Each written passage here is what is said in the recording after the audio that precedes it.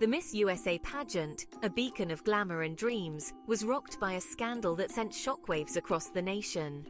The unexpected resignations of Noelia Voigt and Uma Sofia Srivastava not only stirred controversy, but also peeled back the curtain on deeper issues within the pageant world.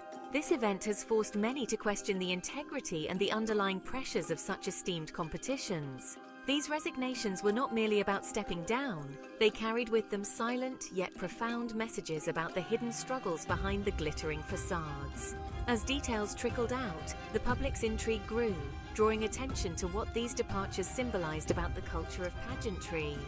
This scandal serves as a critical lens through which we can examine the intersection of public image and private reality, what unfolds is a narrative of resilience, outcry for transparency, and a pivotal moment for advocacy through social media. As we delve deeper into the resignations of Voigt and Srivastava, it becomes clear that this is not just a story of individual struggle, but a reflection of broader societal issues. Noelia Voigt's resignation came as a sudden announcement that left fans and fellow contestants bewildered.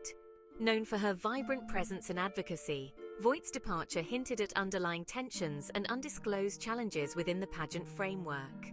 Her statement, though cryptic, suggested a mismatch between her personal values and the pageant's current direction, sparking debates and speculation about the true nature of her exit. Uma Sofia Srivastava followed suit, resigning with a poignant message about mental health and the pressures of living up to an often unattainable ideal. Her exit underscored the immense strain that public figures face, highlighting the often overlooked aspect of mental well-being in high-stake competitions like Miss USA. Srivastava's candid disclosure brought to light the emotional toll these roles can exact, stirring a conversation about the need for support systems within such environments.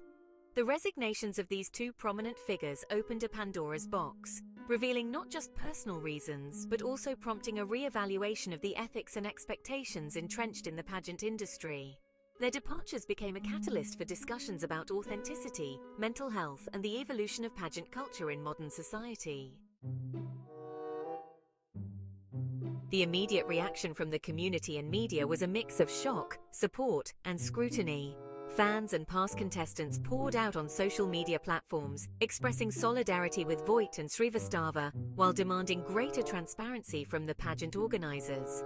This collective voice played a crucial role in amplifying the issues at stake, turning personal resignations into a public cause.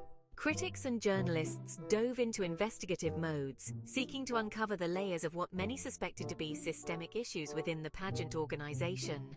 Op-eds and feature articles discussed not only the resignations, but also the broader implications for women in high-profile roles, questioning the sustainability of traditional pageant standards in a progressively aware and inclusive society. Amid this turmoil, other contestants shared their experiences, some aligning with Voigt and Srivastava's revelations, while others defended the pageant's values. This division showcased the complex dynamics within the community, reflecting a spectrum of experiences and perspectives that challenge the stereotype of unity often portrayed in such competitions.